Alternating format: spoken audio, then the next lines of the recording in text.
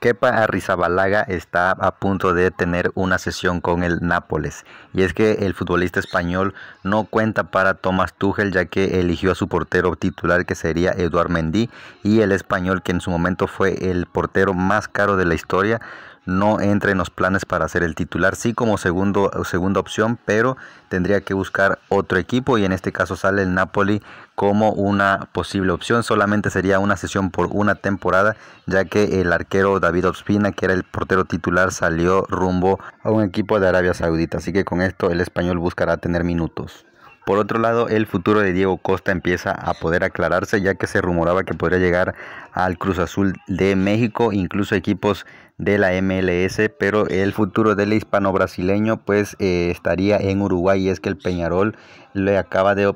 proponer un eh, contrato de un año con otro opcional y el futbolista está seriamente valorando la opción de poder jugar en Uruguay con el Peñarol, ya que incluso se hablaba que había sido ofrecido al Getafe de España por sus agentes, porque lo que busca es un equipo que eh, tenga competencia a nivel internacional y que le dé minutos.